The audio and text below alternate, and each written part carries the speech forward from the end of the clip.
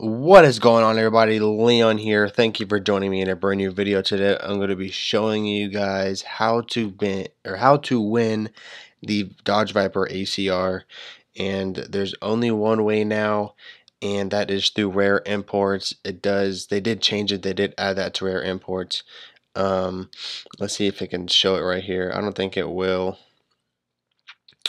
Uh, maybe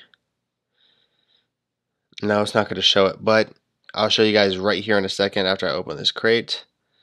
Don't need it. Don't need it. Uh, don't really care for it. Alright, so we're going to go over here to the uh, shop.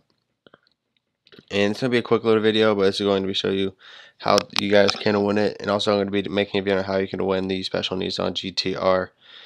So we're going to go over here to Dodge and here it is the Dodge Viper ACR and as you can see you click one car and you use gold keys to open the crates. And there it is right there your Dodge Viper.